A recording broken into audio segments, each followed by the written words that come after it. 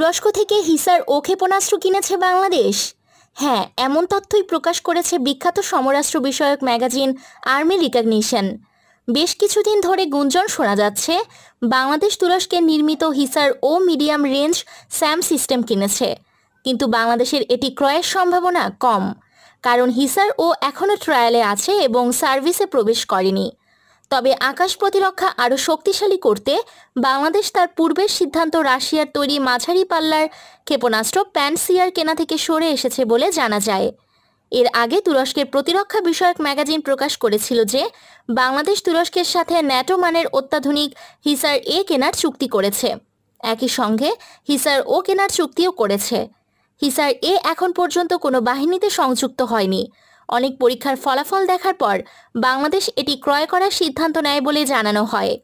তুরস্কের অ্যাসেলসান ও রকেটসান ইতিমধ্যে তৈরির কাজ শুরু করে দিয়েছে।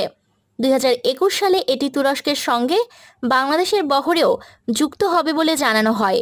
সেটি হলে এই অত্যাধুনিক মাঝারি পাল্লার ক্ষেপণাস্ত্র তুরস্কের বাহিরে বাংলাদেশেই হবে প্রথম ব্যবহারকারী।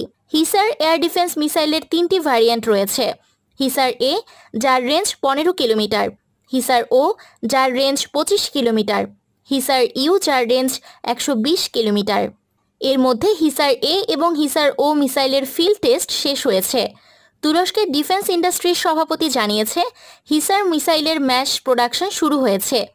হিসার মিসাইলটি লিঙ্ক ষোলো এর মাধ্যমে মিশন সমন্বয় করে এবং ইনফ্রারেড হোমিং গাইডেন্স সিস্টেমের সাহায্যে শত্রু বিমান ড্রোন এবং ক্রুজ মিসাইল ধ্বংস করতে সক্ষম।